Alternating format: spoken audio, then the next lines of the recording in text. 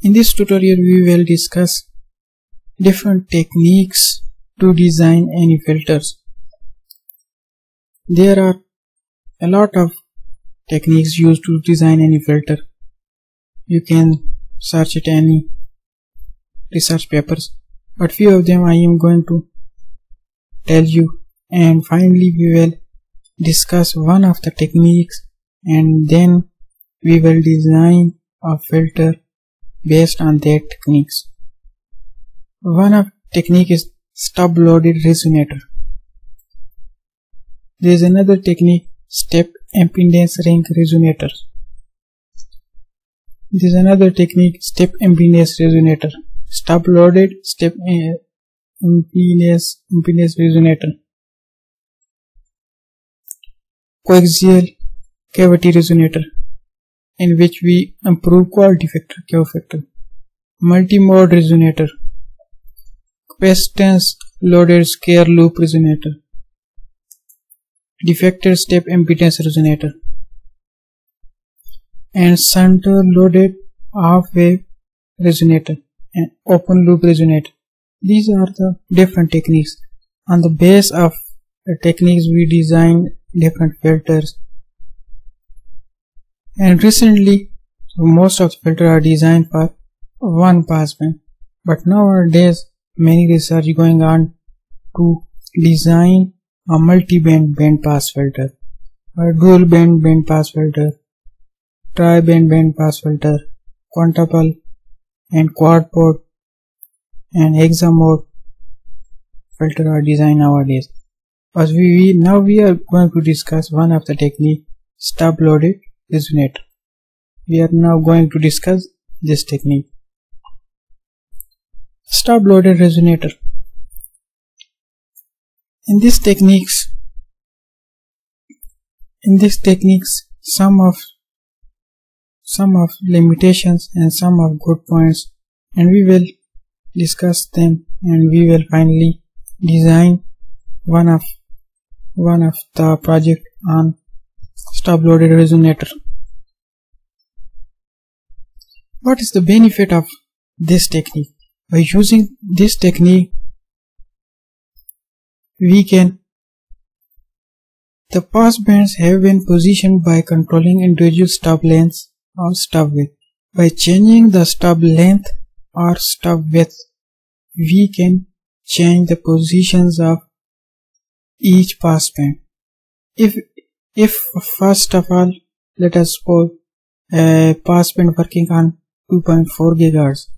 We are going to move it 2.5 gigahertz. This is not too difficult.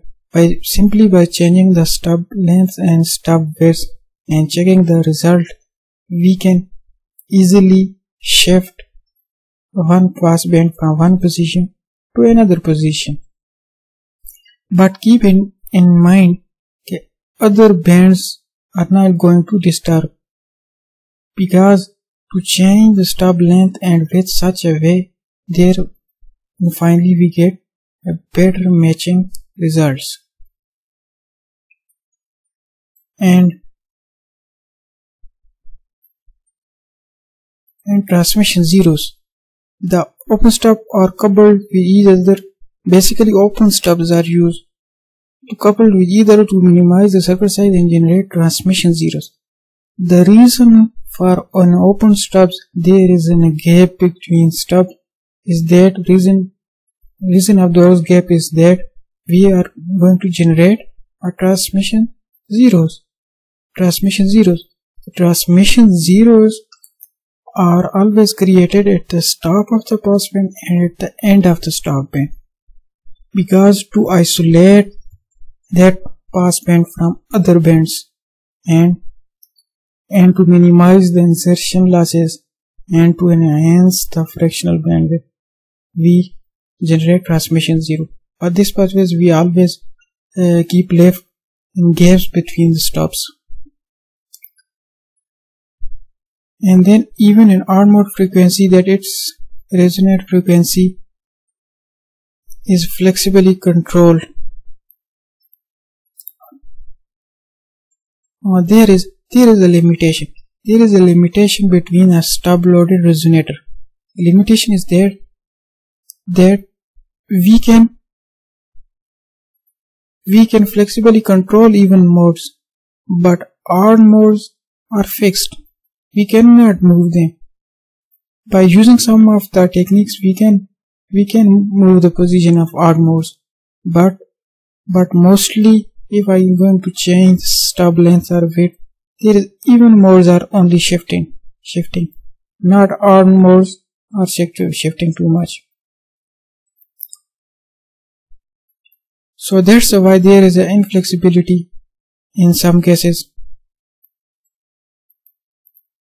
Because of the fixed odd modes, there is inflexibility to enhance the bandwidth of multimode at the same time with better matching, but it gives the idea how to generate tri-band band pass filter. I mean, if we have a dual, if we have dual mode band pass filter, this these some properties gives us an idea we can generate tri-band band pass filter. Similarly, we can can create the quad band and hexa band band pass filter using stub loaded resonator technique. We will do this in our coming tutorials and we will explain what is even mode, what is odd mode and what, are, what are the transmission zeros what are the transmission zeros and what is stub and these different terminology we will explain in coming tutorials you must go through tutorial series HFSS tutorial series. You will find these terms independently.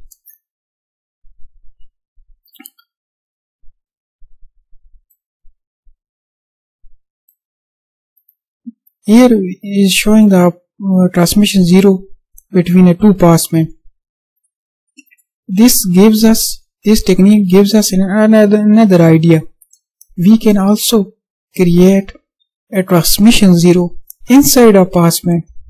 In this way, the passband is split up into two passbands.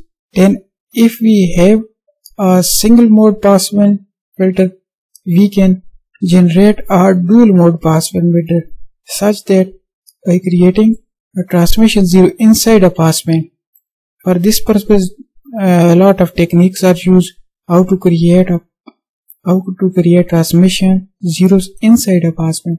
I will discuss that also in my coming tutorials. By by doing a lot of uh, experiments and simulation, I come to conclude that if change the length of a single stub may get effect on other stub position. So it is necessary to adjust all stub lengths such that it gets a better possible matching result. By changing length or width of a single stub, we, we can shift the stub. And we also can enhance enhance the bandwidth and similarly we can also uh, to create another passband by creating a transmission zero inside a passband but there is a big problem is that it is very difficult to to match the circle better matching because we always want to change a changes you want to change a to produce changes in a one passband so that we also keep in mind it does not if there is no any change come occur in other passband without affecting the result of other passband by changing in one passband. It is little a challenging and difficult, but it is not possible.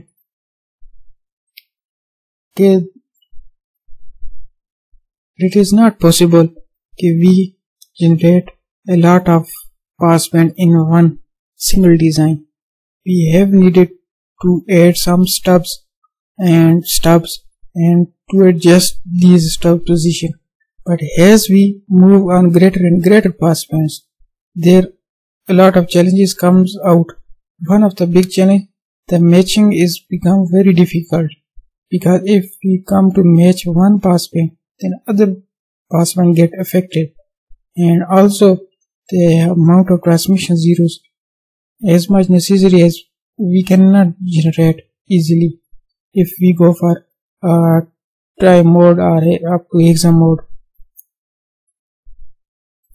This is all about stub loaded resonator technique in which we can uh, do this all much.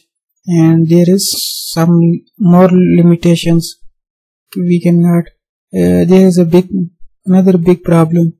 If we are going for if we are going for higher pass bands and multi-band hexaband passband filter for 6 mode for 7 mode.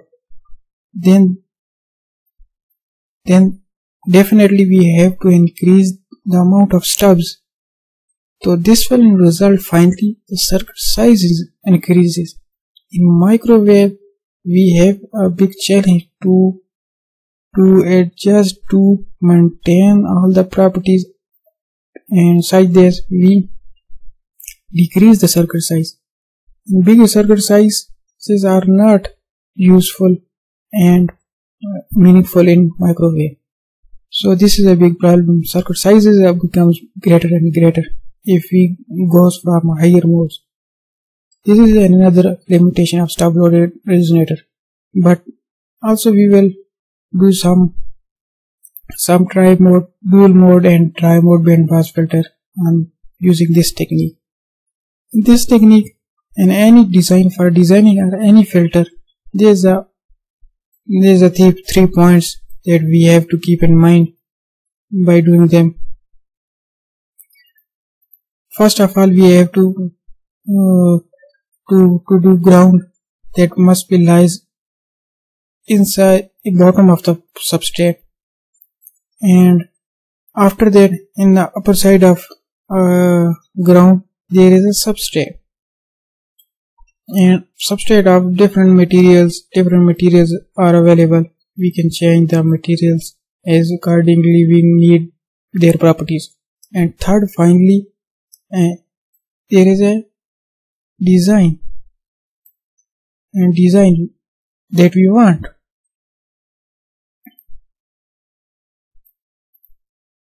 and third design lies above substrate and their properties depend on the shape of stub or perfectly designed so that the smooth coupling result can be achieved as required according to requirement i am going to shape the stubs if I am needed a one pass band, I will I will shape them in a different way.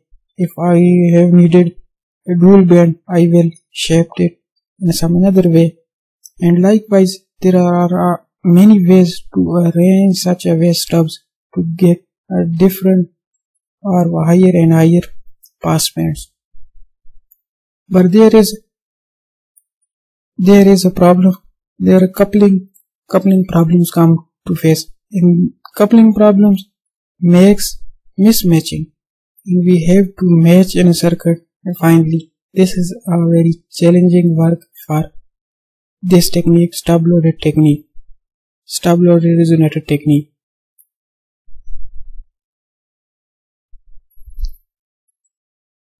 By using software HFSS, we will design a compact tri-band bandpass filter using multi-mode stub loaded resonator in my coming tutorial.